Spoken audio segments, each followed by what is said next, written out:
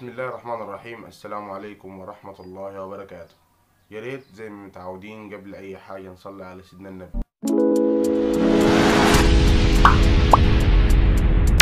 الفيديو ده مهم جدا وسؤال دارج جدا كل الناس بتسأل أو الناس اللي هي حديث التخرج بتسأل ليه الحفر بيكون بالموجب والردم بيكون بالسالب. بالرغم من إن أنا في الردم بزيد. في الردم من منسوب أقل إلى منسوب أعلى. فالمفروض إن المنسوب بيزيد. طيب ليه بيبقى بالماينس بالسالب؟ طيب والحفر؟ المفروض إن أنا بنزل بقل من منسوب أعلى لمنسوب أقل. المفروض أبقى بالسالب لكن هو بالموجب.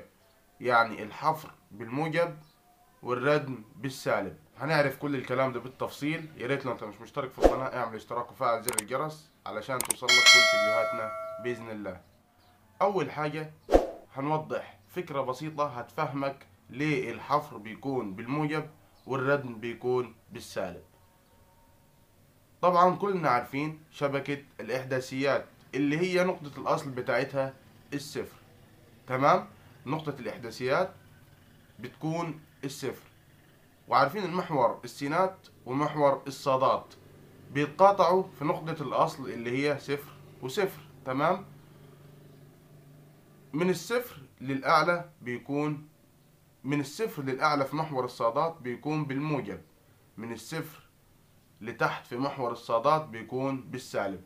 إحنا ليه هنمسك محور الصادات بس؟ لأن محور الصادات هو المحور الرأسي اللي هي سواء طبقات ردم أو طبقات حفر عندك. فبالتالي من الصفر هنمسك المحور الرأسي هنسيب الأفقي. فمن الصفر لأعلى موجب ومن الصفر لتحت سالب. لما بيكون عندي مشروع طريق مثلا عايز أوصلها لمنسوب معين أنا هعتبر بالنسبة لي المنسوب المعين ده هو الصفر. المنسوب بتاع ال design هعتبره منسوب الصفر. وتخيل معايا لو أنا عندي حفر. علشان أوصل لمنسوب ال design اللي هو الصفر أو ردم أردم أطلع فوق علشان أوصل لمنسوب ال design اللي هو الصفر.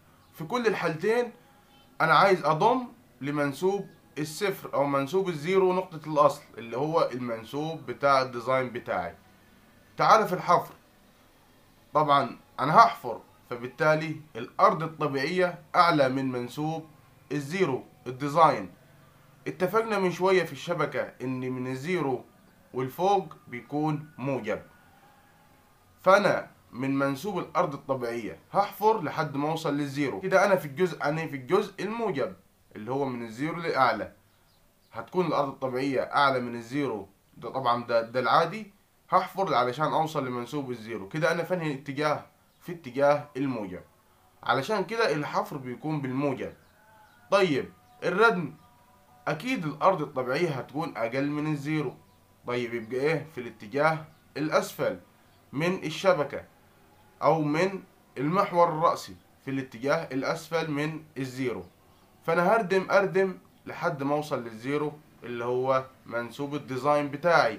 يبقى بيكون بالسالب لأن أنا في الاتجاه السالب أو لأن أنا في اتجاه السالب. كده بكل بساطة ليه الحفر بيكون بالموجب والردم بيكون بال minus بالسالب؟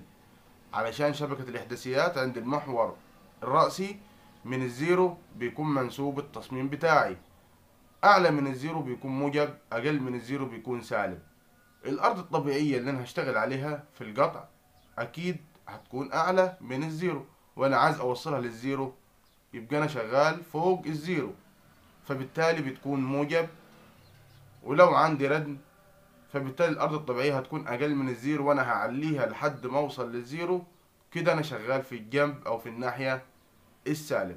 دي فرق بين الإشارات في الموجب والسالب وأنت شغال في الطرق علشان تبقى فاهم ليه ده بالماينس وده ليه بالموجب. طبعا ده سؤال كتير بيحكي فيه. فلازم عود نفسك إن أنت تفهم الفكرة جات من فين. يعني ما تكررش وخلاص افهم الفكرة جات من فين. الفكرة من الأصل من شبكة الإحداثيات والمحور الرأسي بالخصوص لأن إحنا شغالين رأسي شغالين بشكل رأسي. وده الفيديو البسيط. أتمنى الفيديو يكون نال إعجابكم.